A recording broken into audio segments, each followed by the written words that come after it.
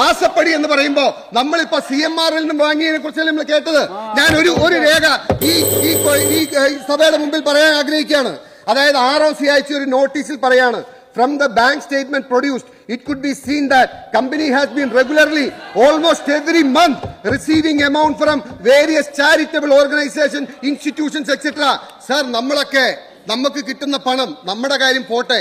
ഈ നാട്ടിലെ ഏറ്റവും പാവപ്പെട്ടവൻ സാധാരണക്കാരനും അനാഥാലയങ്ങൾക്കും ചാരിറ്റി ഹോംസിനും പണം അങ്ങോട്ട് കൊടുക്കുന്നവരാണ്. എങ്ങനെയാണ് സാർ മുഖ്യമന്ത്രിയുടെ മകൾ ഒരു അനാഥാലയങ്ങളിൽ നിന്നും മാസാ മാസം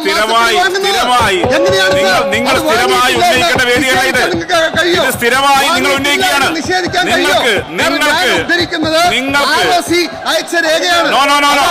നിങ്ങൾ ക്രമവും പാലിക്കാത്ത ഒരു കാര്യവും സഭാരേഖയിൽ ഉണ്ടാവില്ല.